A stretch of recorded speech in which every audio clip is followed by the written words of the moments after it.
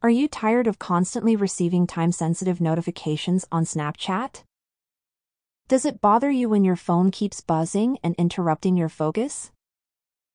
If the answer is yes, you're not alone. Many Snapchat users share the same sentiment. However, we have good news for you. In this tutorial, we will show you how to turn off time-sensitive notifications on Snapchat so that you can have a peaceful moment without interruptions. The first step is to open the settings on your phone. And then scroll down until you find Snapchat. Once you've found it, tap on it. Now click on Notifications here.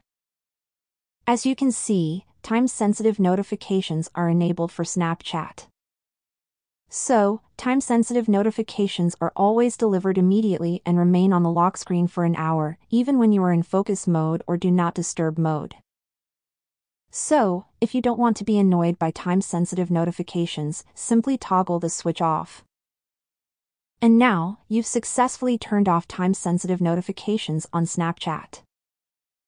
We hope this tutorial has been helpful to you and will assist you in having a better experience using the Snapchat application without interruptions. If you have any questions, feel free to reach out. Enjoy your moments on Snapchat without unnecessary disruptions. Thank you for watching, and we'll see you in the next tutorial.